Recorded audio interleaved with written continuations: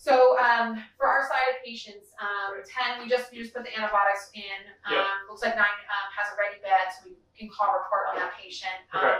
Are there any new patients we should be aware of right now? Nothing I've heard of yet. Okay. I'm sorry to interrupt. I just wanted to update you on a new patient that we just brought right back from triage. Okay. Um, he's a 56 year old male with no significant past medical history, presenting with one week of fever, shortness of breath, and persistent cough.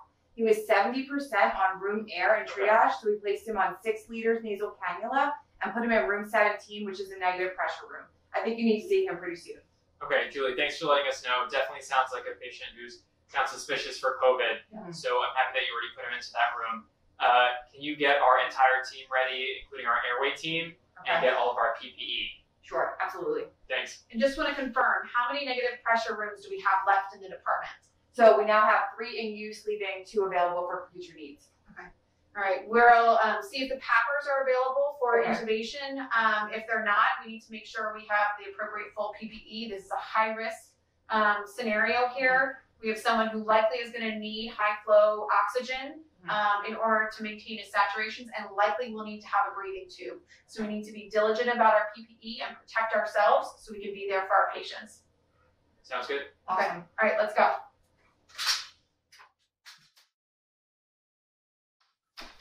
Hello, sir. My name is Julie. I'm going to be your nurse this morning. I'm going to get started by placing you on our cardiac monitor. How is your breathing with that oxygen? Uh, not doing too well. It's still hard for me to, to breathe, it feels like. Are you having any pain? What'd you say? Are you having any pain? No, not really. And if you could sit me up just a little bit, it'd be great. Sure.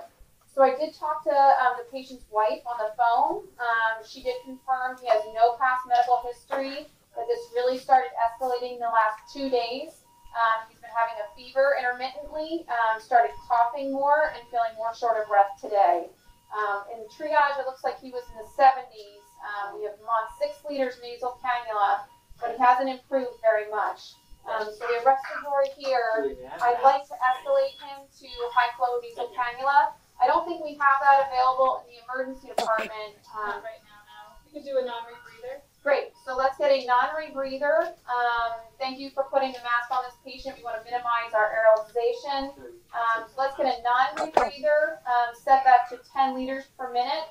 Um, we can put the mask over the non-rebreather mask um, to reduce any aerolization with this high flow oxygenation. Okay.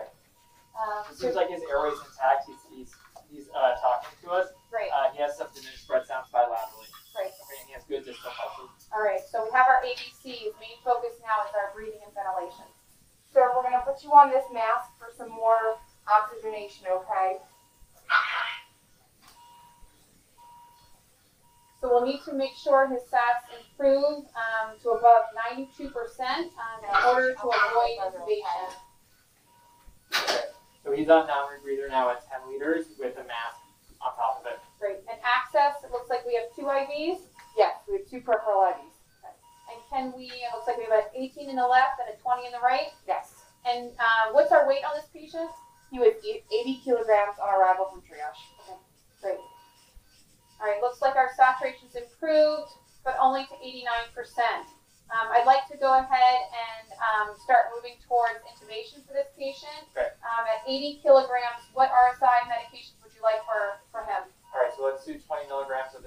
etomidate, 100 milligrams of rocuronium for our sedation. Let's do propofol and fentanyl, and then let's have some phenylephrine by the bedside. I'll go ahead and call pharmacy right now. Great, okay. If we can prepare those medications outside of the room and only bring in what we need, that would be good. Hi, this is Dr. Jane. Um, Sir, so what we're doing when is we get a can I patient just on the go on ventilator, I want to six use um, assist control ventilation. 20 um, milligrams low of stress etomidate, protocol. 100 Uh, we're gonna want milligrams to of rocuronium. six cc's per kilogram, which would be four hundred and fifty, um, cc's for this patient at a rate of sixteen. FiO2, hundred percent, leave of fourteen. Thank you. We'll be sure to keep her updated with everything that's going on with you, okay? I'm gonna give you medications that'll make you sleepy so that you do a little bit, um, more comfort during the procedure. All right, so airway team, I'd like to recap a few important things we want to make sure we do um, during the intubation procedure because it's a high risk for aerosolization during that. We do not want to use any bag mask ventilation um, before um, uh, we place the PE tube. Um, we're just going to be using what we have on right now. Um, as soon as we have the tube in place, and we should be using video laryngoscopy for this, Yep, we have set up. fantastic. Um, we should um, immediately get the cup up and connect the ET tube directly to the ventilator tubing. I do not want to use the bag valve mask. Um, we have a HEPA filter, viral filter on the ventilator already, Yes, we do. and it's distal to the suction. Yes. Fantastic. All right, just to confirm, uh, we will not be using a bag valve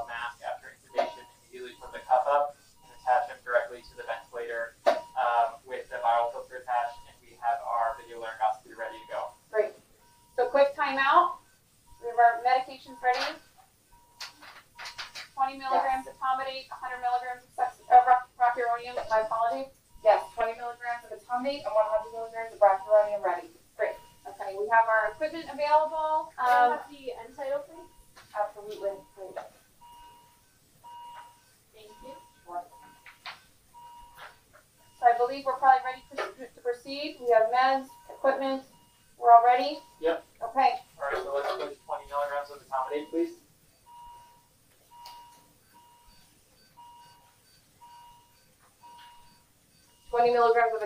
In. 100 milligrams of rocuronium, please.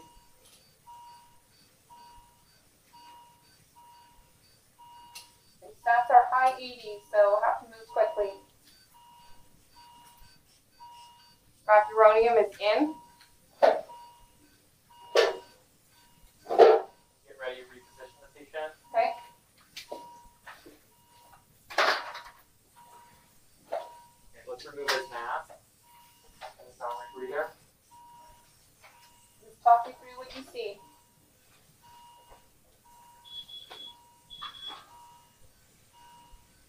Okay, it's his tongue, glottis, and we have his cords here too, please.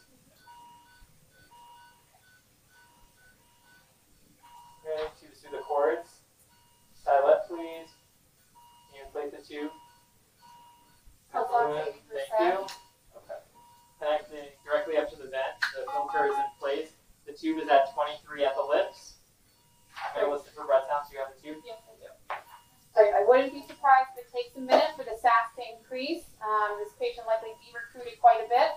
With a high peak, we should get him back up. End tidal thirty-nine. The patient has good bilateral breath sounds. Great. Stats are improving. Excellent. You can hold the tube, I'll through. I got the tube.